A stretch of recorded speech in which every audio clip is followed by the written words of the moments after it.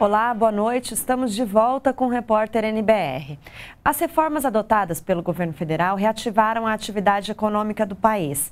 É o que aponta o resultado na arrecadação de impostos apresentados hoje pela Receita Federal, que bateu recorde em junho e em todo o primeiro semestre de 2017.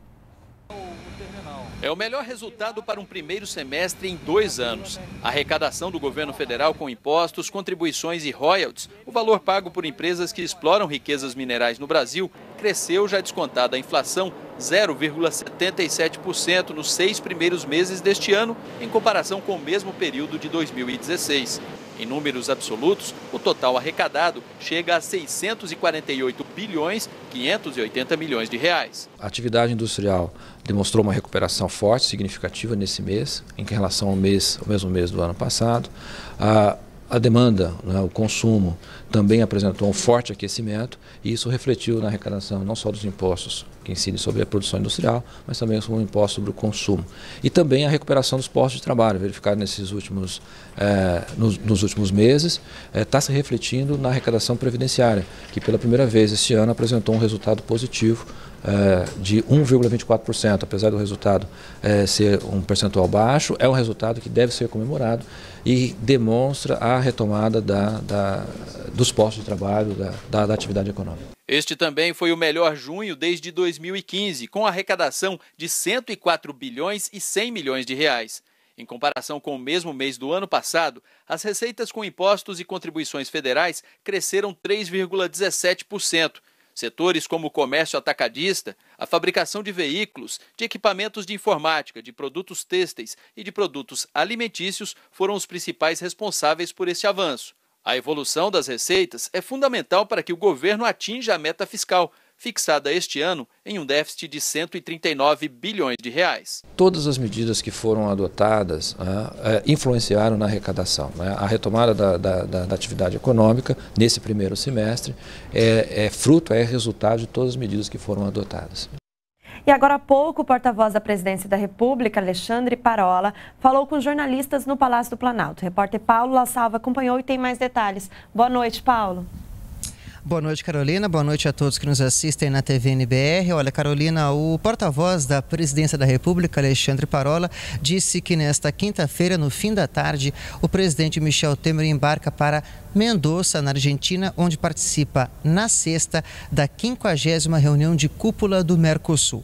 Segundo o porta-voz Alexandre Parola, o presidente Michel Temer vai abordar com os outros presidentes dos países membros e associados do bloco os ideais que estiveram na origem do Mercosul, como, por exemplo, a integração econômica, a democracia e o respeito aos direitos humanos na região. Outro assunto que fará parte das intervenções do presidente Michel Temer durante a a cúpula é a negociação de um acordo de livre comércio entre o Mercosul e a União Europeia. Vamos acompanhar agora mais detalhes sobre a cúpula de Mendoza com a repórter Luana Karen. Um dos objetivos da 50 Cúpula do Mercosul é discutir uma aproximação com a Aliança do Pacífico, grupo formado por México, Chile, Colômbia e Peru, para uma maior integração comercial. A situação política, econômica e social da Venezuela, que foi suspensa do bloco em dezembro do ano passado por não ter cumprido requisitos de adesão ao Mercosul, também deve ser discutida durante essa cúpula. A reunião do Mercosul também vai marcar a passagem da presidência temporária do bloco da Argentina para o Brasil, que vai ficar no comando pelos próximos seis meses. O ministro da Justiça, Torquato Jardim, está em Washington, nos Estados Unidos. Na viagem, o Brasil quer buscar reforços de tecnologia para a área de segurança pública e aumentar a eficiência no combate ao crime e à violência.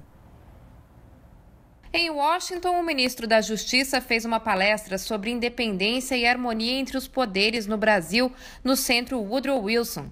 Em conversa aos jornalistas após a palestra, Torquato Jardim destacou que o Brasil quer ajudar no treinamento de policiais de países membros da OEA, a Organização dos Estados Americanos, no combate ao tráfico de drogas e de armas. Na OEA, nós vamos fazer o convite que os países membros mandem seus agentes de segurança, policiais especializados em antidroga antiarma, para estudar no Brasil, fazer esse treinamento na academia da Polícia Federal, que tem uma academia fantasticamente bem instalada e competente, reconhecidamente competente, para que haja essa essa comunhão de treinamento, mão de obra comum para esse combate que é terrível, né? contra toda a violência que ocupa os nossos países vizinhos e o nosso próprio país só pode ser combatida com muita integração em tecnologia. Antes da palestra aqui no Instituto Brasil do Wilson Center, o ministro teve outros encontros em Washington.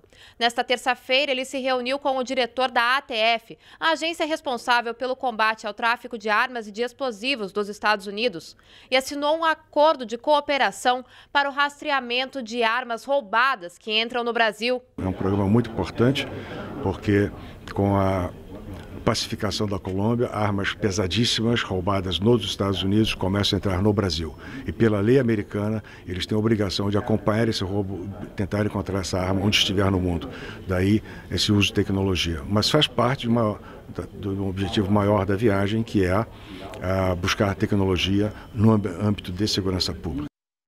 Ainda durante a viagem, o ministro Torquato Jardim deve se reunir com o secretário de Justiça dos Estados Unidos, com representantes do Departamento de Estado norte-americano e com o secretário-geral da Organização dos Estados Americanos. De Washington, o ministro segue para Nova York. Na Organização das Nações Unidas, ele deve participar de reunião para tratar da situação dos refugiados presidente Michel Temer sancionou hoje a lei que destina 102 milhões e 300 mil reais para a Polícia Federal normalizar a emissão de passaportes no país. O serviço de emissão de passaportes será normalizado assim que o valor for empenhado pelo Ministério do Planejamento e liberado para o Ministério da Justiça. Por falta de recursos, a emissão de passaportes convencionais, aqueles que têm validade de 10 anos, foi suspensa pela Polícia Federal. Desde o final de junho, a emissão estava restrita a passaportes emergenciais, com validade de um ano. Estes são utilizados, entre outros casos, para tratamento de saúde no exterior. Esses recursos virão de contribuições voluntárias que o Brasil faria à ONU. Deste modo, não haverá a criação de uma despesa sem previsão de receita e a lei de responsabilidade fiscal segue sendo cumprida pelo governo. O repórter NBR fica por aqui. Voltamos a qualquer momento com outras informações ou em uma hora na nossa próxima edição. Você pode rever as reportagens no YouTube e toda a programação também está na nossa página na internet. Continue na NBR, a TV do Governo Federal.